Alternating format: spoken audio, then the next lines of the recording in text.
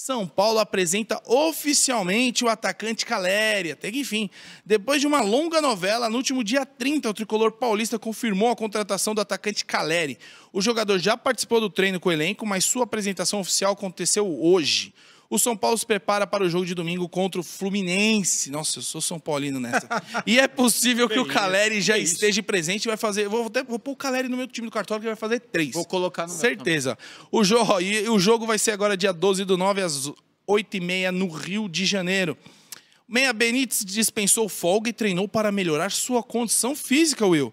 E a enquete aí que rolou entre a torcida quem que eles escalariam e o trio ofensivo que ganhou foi Caleri, Rigoni e Luciano. Não sai Boa. disso mesmo. Ué, mas por que tiraram o Pablo? É, Por quê? é injustiça. Sabe por quê? Sacanagem, hein, Ah, por quê? Sabe por que tiraram o Pablo? Você sabe? Você sabe por que tiraram o, Pa- o Pablo? Vai passar mal! Põe pra fora, Will, tudo que tá guardado no seu coração, na sua cabeleira. Exponha pro pessoal. Balança- tá- o pessoal balança está ansioso para Queremos ouvi-lo, queremos ouvi-lo. Bom, boa noite. É uma honra estar aqui com você. Oi, até que enfim voltou, hein? Até que enfim. Palmas, palmas, mais, mais aplausos! Mais aplausos! Muito Ele bom tava estar ali no aqui backstage, nessa ali mesa. trabalhando, né? Esses dias a gente foram meses preparando Verdade. o estúdio aqui. É isso aí. Graças a Deus ficou muito, muito legal, tudo muito bom. Tá de parabéns. né? Obrigado, agradeço ao Sérgio. Opa! Sem ele, meu, não teríamos estúdio. Verdade, Tá bom, verdade. tamo junto aí. Mas agora que tudo está funcionando, o time São Paulo precisa funcionar também, né? Exatamente, Exato, é. exato. Tal, é, chegou Caleri, Gabriel Neves, galera aí com uma promessa. Esse Gabriel Neves eu não conheço. Conhece, Moderninho? Não, não, não. Mas, meu, me perdoem, meus amigos são paulinos.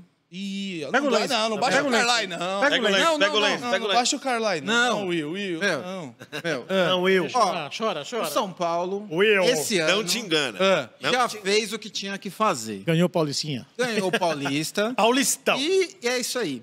E por incrível que pareça, eu não sei se isso é estratégico, eu acho que não, porque é ruim por time. O São Paulo está numa zona de desclassificação.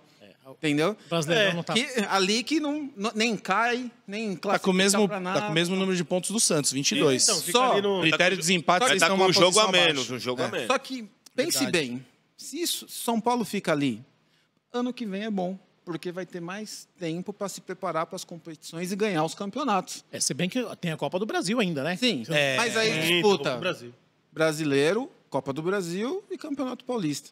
Né? Porque jogar essa quantidade de campeonato aí mata os caras, meu. Pô, e o São É, a Paulo. gente tem vem falando isso. E o. São, e o São Paulo, ele tem meio time, ele não tem um time. Precisaria de dois times. Né? Todo time aí que joga essa quantidade. Tem, tem um elenco, né? Um elenco. É, E a gente vem falando bastante do departamento médico de São Paulo, Will. Você Sim. viu? Você vem acompanhando É, também. jogador- Toda hora se 65, machucando. 65 jogadores no, Pô, no no departamento. departamento médico.